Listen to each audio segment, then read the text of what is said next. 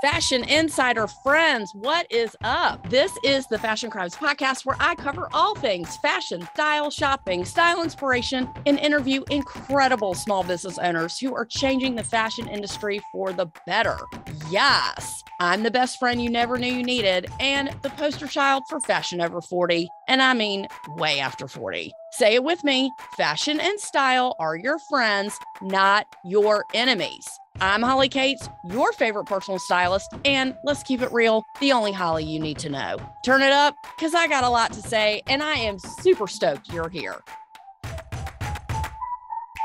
It's been a fabulous, fashionable week here at the Fashion Crimes Podcast, I must say. Now that Fashion Week is wrapped up, and I had my 10 year wedding anniversary party here in the ATL, and I wanted to put the dress code on the invitation, which was quote unquote fabulous. That's the dress code. And Jonathan said that was mean and people could wear whatever they wanted to. Annoying. Anywho, if you know me and you know any event of mine has a fabulosity quotient that is required upon arrival. Most everyone did look fabulous, so a great time was had by all. I can't believe I've been married for 10 years. Wow. Jonathan, he's the man. I'm just saying. I'm so very lucky and grateful he's stuck with me for so long. Loving this journey for him. Just kidding. Loving this journey for me.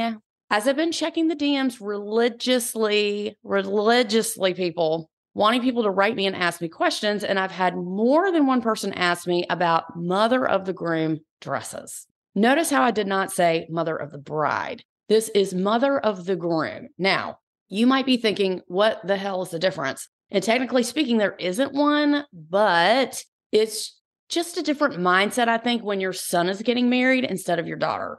To all you boy moms out there, it's just different. You're not, hopefully, planning the wedding. You're planning some things probably, but you don't have the pressure of the whole event. You get to step back a bit. At least I think in my case, because my son is getting married next year, there is a level of pressure that's taken off when it's your son and not your daughter getting married. But let's be honest, we all know that all he has to do is show up and we're good. So we can relax a little. But I've had more than one complaint about the difficulty of finding a dress for their son's wedding. Don't worry, my friends, you've come to the right place. Yes, I have designer suggestions, of course, that are all on my Pinterest board that I made just for you. Not every dress will apply to you, but you can get the general idea of what to look for that is more updated instead of what the bridal industry thinks that you should wear. When you think about mother of the bride or groom, it just sounds old and tired. Sorry, not sorry. It just does. In my opinion, the bridal industry has capitalized on every single minute detail of every second of somebody's wedding. But the mothers, oh, they dropped the ball on that. It's a big hell no for me. Just go to any bridal gallery, showroom, or boutique, and they will have a quote, mother of the bride section. Blech. That shit is so outdated. Fashion crime.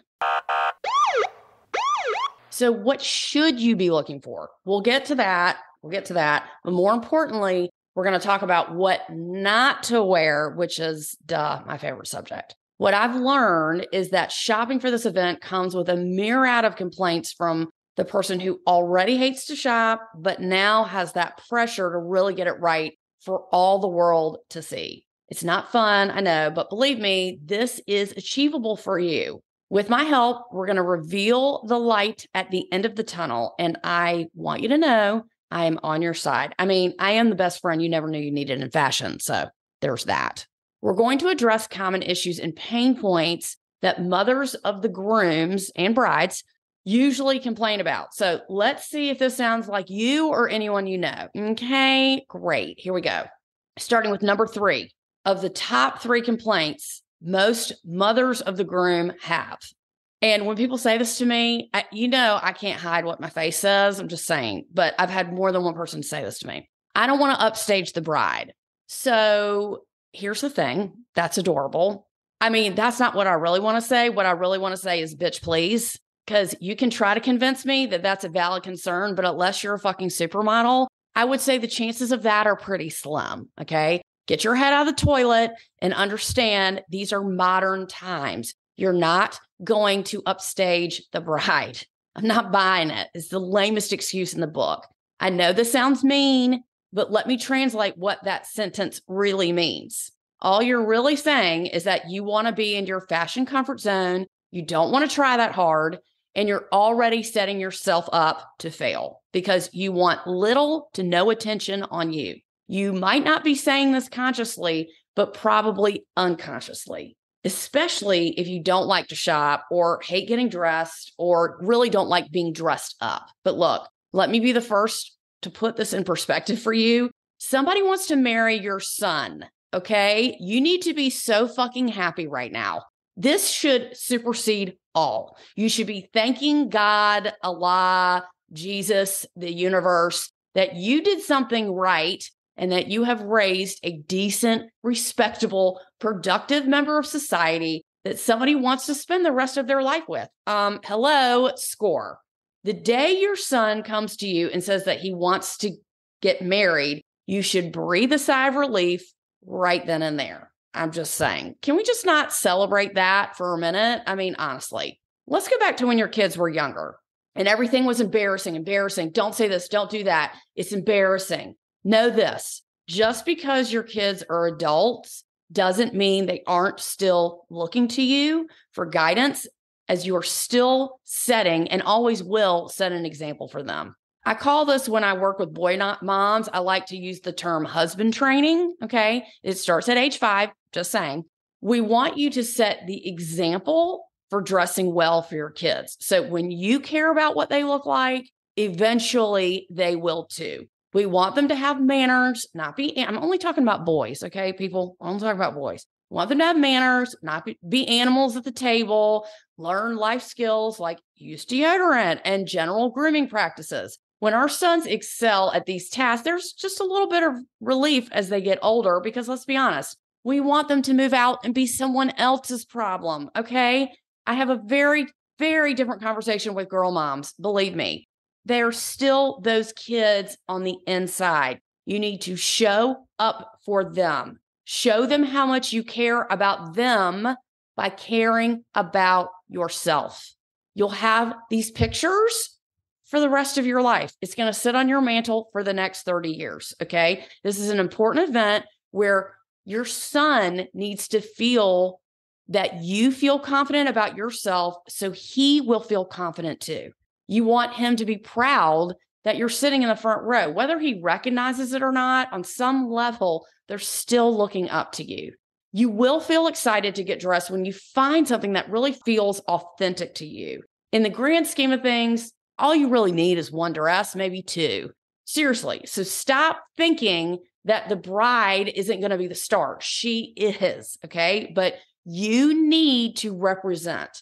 When shopping for a mother of the groom dress, it's all about casting your net wide, looking both in person and online, not just one or the other. It's time consuming. I know this. Not shopping too early. That's a big no no. We're going to talk about that. And getting something that levels you up and elevates your style. Be better than predictable and wear something unexpected. Does that mean crazy? No, it just means unexpected for you not a dress with lace sleeves and a jacket. Um, no. If you look at Mother of the Bride dress, that's what you're going to find. And that shit is tired and it's predictable. Here's the number two complaint that I always get I don't want to show my arms, my legs, or this or that, or what have you. Now, I think this is a bigger subject for a bigger conversation, but I want to bring it up because everybody tells me the exact same thing. When you shop in general, it's not just for a special occasion dress.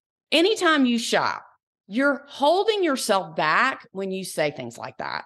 And here's why everyone, young, old, fat, skinny, everybody has body issues. But when you come into the situation putting limitations on yourself like that, you're not open. Okay. You need to be open to anything and everything that might work because you don't know what you're going to like. You don't know. You might be pleasantly surprised that a dress you would never even try on might work for you. So set yourself up for success by not saying anything negative about your body or what you are willing or not willing to wear. You never know what might work for you. So let's put this in perspective. If you say, I don't want to show my legs, does that mean, you know, I'm going to make you wear a micro mini dress? No, but it doesn't mean you can't show a little leg or reject every dress that might offer a leg showing type of situation. So, what I'm saying is stop holding yourself back and don't go into the store or into a shopping opportunity with limitations. It just doesn't do you any favors. Okay. The number one I complaint I always get is about money, always, or being very apprehensive to spend money on themselves for this. As much as this is a very, very valid concern, there are ways to get around this to stay in a certain price bracket, whatever that may be for you. But hear me out. When you don't shop a lot, you're not familiar with how much things cost or why they cost what they cost. As far as any big purchase goes, you really get what you pay for. Having a budget is completely normal, but when it comes to evening wear, it may seem frivolous to spend money on a very high end gown for a one time occasion. But think about it this way if your kids are getting married, if y'all are in that circuit of everybody's getting, everybody's kids are getting married, you're probably going to wear this dress to somebody else's wedding too. If it's too formal for someone else's wedding, you could change the length of the dress to make it less formal and then bring up the hem. You could change the sleeve, etc. Secondhand is always an option too. There are many great websites to try to find something gently used, which is an amazing way to stay within a certain price range. You do have to be a very seasoned shopper to be able to do that and find what you're looking for. But if you want to know more about how to shop secondhand for something like this, make sure you hit me up and I'll certainly answer your questions and do a part two to that. But if you're like, I can only spend X dollars and that's it, I can't go a penny over, then that might be a good option for you. Let's put the look together for your son's wedding. Here's what you need you need a dress, shapewear if necessary, shoes, jewelry, and a bag. You might need a coat, you might not. I don't know. I helped someone not too long ago for her son's wedding, and she claimed when I talked about the bag, an evening bag, she said, Oh, I don't need a bag because I just give all my stuff to my husband. He's just going to carry it. I said, No, girl, no, uh uh-uh. uh. And she said, What do you mean? I said, You're not going to make your husband carry all of your crap on your kid's wedding day. Don't do that. Then you're nagging him every five seconds for your lipstick. You're a grown woman get an evening bag. Sorry, you can't skimp on that. You, you just can't. Get an evening bag, whatever that means for you. And I have a couple of options, of course, on the Pinterest board.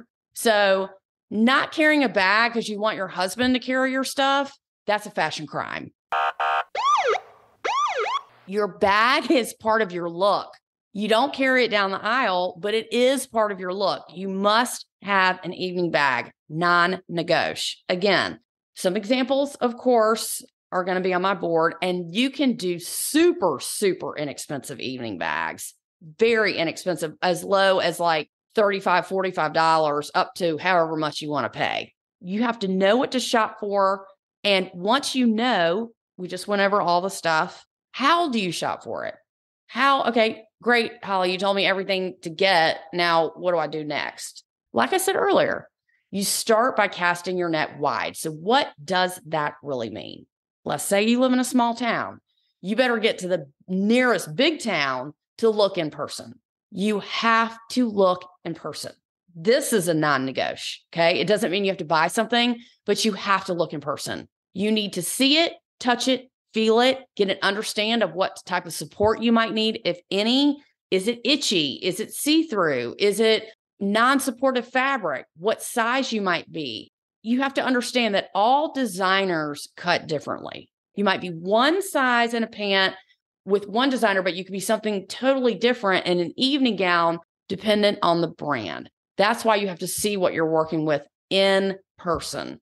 Some brands that I recommend for dresses to start with you know, and these are on your Pinterest board Tom and Linda Platt, Teri Jon, Badgley Mischka, Chiara Boni, Zac Posen, Black Halo, and McDougal. That's just a start, and so many more.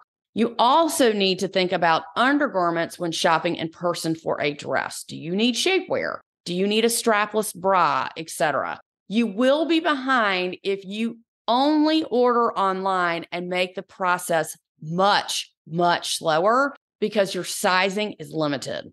You only order online after and only after you have tried a few things on in person in store and you have an idea of what you're looking for. There's more to choose from, and you might see something there in person that you didn't see online. Also, you can ask for help in the store. If you get someone that's good, it could really change your entire experience. Now, I want to talk about this for a second. Going into a specialty store is the first thing I would do in order to have someone actually qualified to help you. Try to find somebody who knows the product and can give great suggestions according to what your needs are. When you're looking online, if you don't know what you're looking for, it just makes everything harder. That's why I say you have to shop in person first. After you've done your homework, which I hope you're going to do your homework, which I think you are, and you've looked in person, you can order 10 dresses online to try on at home. Understand you do this when you've decided the type of dress you're looking for. Maybe have narrowed it down to the designer, or if you have connections, maybe a store can send you some things on consignment. So, what that means is you give them a credit card, they send you five things, you keep one or two and send the rest back, and they only charge what you keep. That's what sending on consignment means. If you're working with somebody closely at a specialty store, they might choose things for you that you haven't even thought about. You might want to leave it to chance and say, I'm looking for this type of dress. Send me what you have if you're that open. And then they can send that to you on consignment. It's a great option if you can create a relationship like that with a store or a brand. A lot of showrooms in New York, they do see private clients, like especially Tom and Linda Platt. I just had the pleasure of interviewing Drew, and he was doing a private trunk show in Tootsie's here in Atlanta. And so I interviewed him, and he says people come into the showroom all the time. They have a million colors to choose from. These silhouettes, you can add a sleeve here, take it up there, add this. So it's a really great experience if you want that kind of specific help. The next mistake that I don't want you to make is not shopping too early. Please, I beg you, I beg you. Not only does this speak for yourself, but when you shop too early, it never fails. You keep looking and you find something else you like better. It's inevitable. Even when I work with brides, it's never a good idea to shop way too early. Then you're just asking for the universe to make you question your choice only to find something else better at the last minute. I'm just saying. If you are the mother of the groom, you do not need to look at anything seriously more than five months in advance. Seriously, serious. Even that's a little early Six months too early. Three months is really about the right time. If you're not getting something custom, if you're getting something custom, it's a different conversation. But if you're buying something off the rack, three months is really about the sweet spot in the timeline, even though it might seem a little tight, but that is more than enough time for you to find a dress. But you want to get something in season, not that you're not going to stare at for an entire year and that will seem new and exciting because you're going to get it and then you're going to wear it quickly after. Believe me, the newness wears off if you get it too early. Three months is plenty of time to find something that you can make work for you because you will have done your homework and know what you're looking for before you get to that three month deadline. Getting something that levels you up and perhaps elevates your style, this is the goal here. Are you going to get something that's predictable? No. Are you going to get something that's lacy and old lady looking? Hell no. You're going to look at dresses that are dependent on what type of wedding it is and is nicer, something that's nicer than what you would normally buy. So that's where I come in. If your son's wedding is black tie, then let's just say you could wear sequins or beading or something unexpected, like a midi dress, which is something that comes to like halfway down your shin. If it's at two o'clock in the afternoon, obviously it's not black tie and you can wear something not beaded or sequined. We went over the dress codes before and what to wear to our class reunion episode. So if you did not listen to that, please go back and listen to that episode. However, the rules are even more magnified now that you're going to be in the spotlight. There's a lot of factors that can go into a type of wedding that somebody might have. So ask for help if you're not sure or if someone is doing something untraditional and you can't figure it out. There's a gazillion dresses in the world. You only need to find one. You can do this. Send me a DM or an email and ask me what you need. And you might just get a shout out on the next podcast. Okay. So for this week, shout out to Cape Wishes, who wrote in asking me about bras. Um, we're besties now, duh. Jergenda Pulver and Lisa, who wrote in this week. Y'all, thank you so much. It is really what keeps me going and gives me topics that y'all need to know about instead of me rambling on and on about something that you really don't care about. I'm just saying. And what I really love is that I think y'all are surprised that when I actually do give you a shout out and then you write back to me and then you say, Oh my God, I heard my shout out. Thank you so much.